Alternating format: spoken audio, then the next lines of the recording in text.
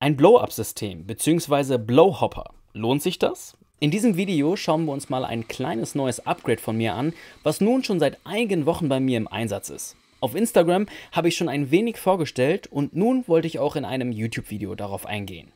Aber fangen wir von vorne an. Ich habe ja schon früher berichtet, dass ich mit meiner Mühle der Eureka Mignon Specialitat Single Dosing betreibe.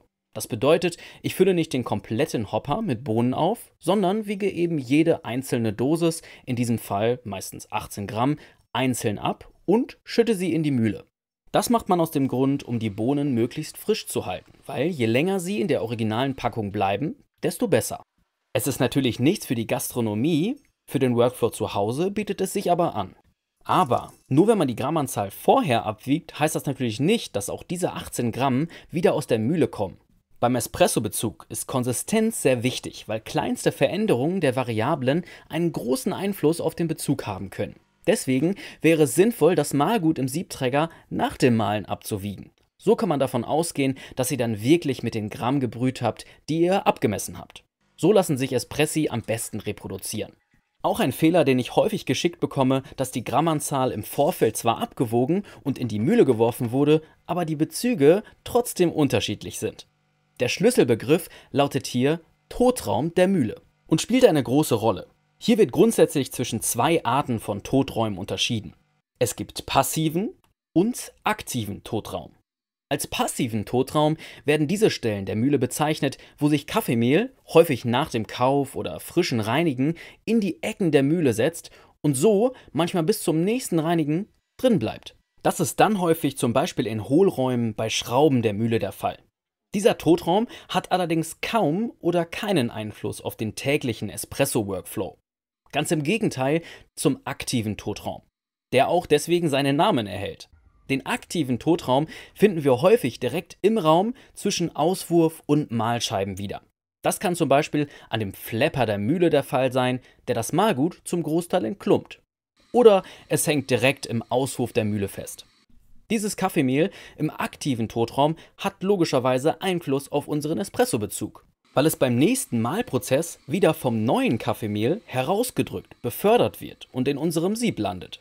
Das neue Mehl nimmt dann wiederum den Platz im aktiven Totraum ein, wenn zuvor nicht extra etwas ausgemahlen wurde. Man erhält also trotzdem häufig seine Grammanzahl, weil sich altes Kaffeemehl mit neuem mischt. Häufig sind dies um die 1 bis 3 Gramm. Problem dabei kann sein, dass altes Kaffeemehl an der Luft natürlich sehr schnell altert. Es wird poröser und verfälscht aufgrund seiner Struktur unsere Durchlaufzeit. Einer der Gründe, weshalb manche Bezüge plötzlich schneller durchlaufen als andere, obwohl dieselbe Grammanzahl im Sieb ist und getampt wurde. Hier kommt mein neuer Blowhopper ins Spiel, den es auf Etsy zu kaufen gibt. Ich habe auch einen schön aus Silikon gesucht, leider schießen da die Preise aufgrund von internationalem Versand sehr in die Höhe. Auch das originale Blow-Up-System war mir etwas zu teuer, deswegen hier eine günstige Alternative. Diese Silikonbalks, beziehungsweise in diesem Fall aus TPU, einem 3D-Druckmaterial gefertigt, sorgen dafür, dass der aktive Totraum durch einen Druckstoß beim bzw. gegen Ende des Mahlprozesses sehr stark reduziert wird. Nicht ohne Grund sind neuere Single-Dosing-Mühlen auf kleine Silikonbalks, Bälge, umgestiegen, die eben die letzten paar Gramm im Auslauf herauspusten. Und wir rüsten es bei unseren Mühlen einfach nach und bedienen uns derselben Methode. Mit einem kleinen Experiment wollte ich außerdem testen, wie groß der aktive Totraum bei der Mühle wirklich ist. Dafür sollte die Mühle natürlich nach dem Reinigen eingemahlen sein, sodass der passive Totraum kein Faktor mehr ist. Danach habe ich versucht, den aktiven Totraum möglichst gut auszumerzen, indem ich mit Schütteln und Pusten des Blowhoppers so gut wie alles bis zum Auswurf hinaus befördert habe.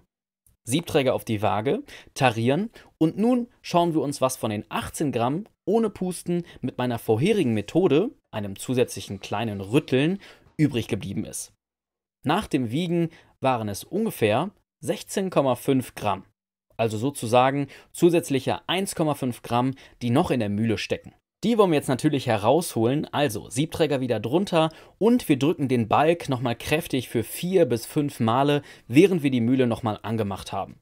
Und siehe da, das restliche Kaffeemehl kommt heraus.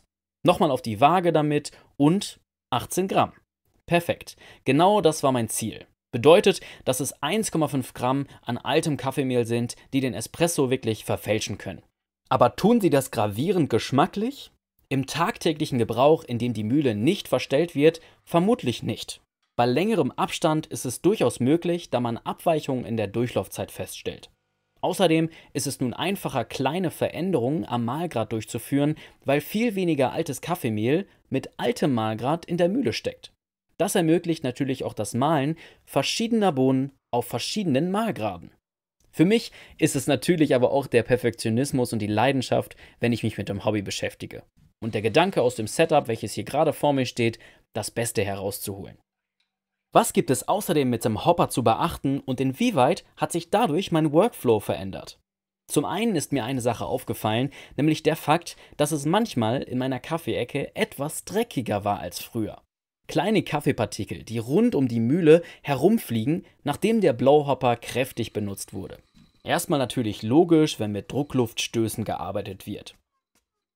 Eine Sache, die mir in diesem Fall unheimlich geholfen hat, war die RDT-Methode, die ich schon einige Male auf dem Kanal erwähnt habe. Es ist die Ross Droplet Technik und bezeichnet das Sprühen von Wasser auf die bereits gewogenen Bohnen, die kurz danach in die Mühle geworfen werden.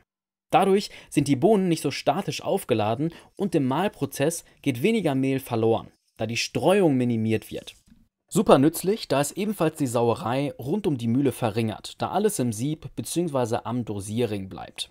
Eine kleine schwarze Sprühflasche, die sogar zu meinem Setup passt, gibt es ganz günstig bei DM. Und als zweites habe ich mich in letzter Zeit mit der Thematik Cold und Hot Start einer Mühle auseinandergesetzt. Diese beiden sozusagen Methoden bezeichnen den Zustand, in dem sich die Mühle befindet, wenn die Bohnen eingeworfen werden. In einem Cold, also einem kalten Start, werden die Bohnen als erstes in den Bohnenbehälter geworfen, nachdem sie gewogen wurden. Danach lässt sich bequem der Siebträger nehmen, die Mühle anschalten und mahlen. Bei einem Hot Start hingegen werden die Bohnen erst in den Hopper geworfen, nachdem man die Mühle angemacht hat. Das heißt, die fallen in ein laufendes Mahlwerk, anstatt bereits zwischen den Mahlscheiben zu liegen. Das soll den Vorteil mit sich bringen, dass das Mahlgut gleichmäßiger gemahlen werden kann. Auch weil es von einigen Herstellern von hochwertigen Mühlen empfohlen wird, kann es sicherlich nicht schaden, weswegen ich auf einen Hotstart meiner Mühle umgestiegen bin und die Bohnen einwerfe, wenn ich zuvor mit dem Siebträger die Mühle angeschaltet habe. Bisher kann ich sagen, dass ich kaum Unterschiede im aktiven Totraum und Durchlaufzeit festgestellt habe. Das sind dann vermutlich auch nur kleine Unterschiede. Und das war auch schon mein Video zum Blowhopper. Ich hoffe, es hat euch gefallen. Dann freue ich mich natürlich über ein Like und ein Abo, damit ihr die nächsten Videos nicht verpasst. Hier verlinke ich euch noch weitere Videos von mir, die euch interessieren könnten. Und wir sehen uns dann im nächsten Video wieder.